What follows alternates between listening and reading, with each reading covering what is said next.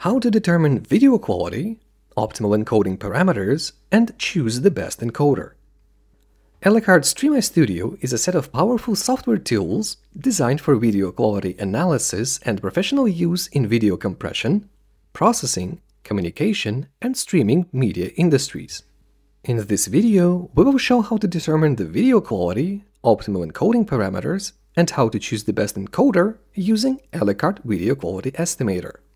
Elecard Video Quality Estimator is a professional tool for video quality analysis based on objective metrics.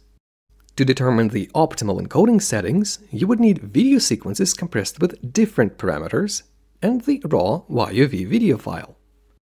Open all three video files in Video Quality Estimator, select one or several objective metrics, and run the calculation. The results for both samples will appear in the Stream window. In our example, the values of metrics for video B are higher, so we can conclude that that video has better quality. To interpret objective metric values, you can use the following scale. For more information, please check the full article on our website. The link is in the description below. If you do not have the raw YUV video file, you can use the compressed video. Decode that video file and save it as a YUV, then perform the analysis as previously described.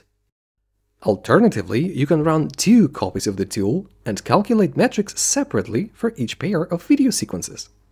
Note that it is crucial that video files A and B are compared against the same reference file. To correctly calculate the metrics, the content, resolution, frame rate, and color depth of all samples have to be the same. Some video files, especially live video recordings, often start from different frames. In that case, please use auto-synchronization.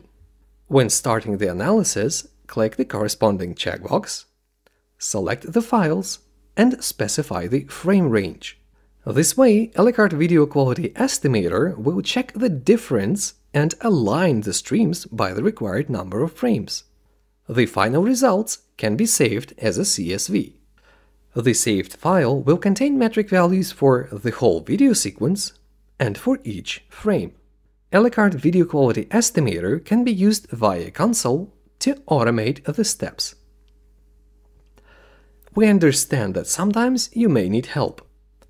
Elecard has a support team as well as an engineering team that can help form a solution just for you. We can help address all of your analysis needs for projects of any scale and complexity.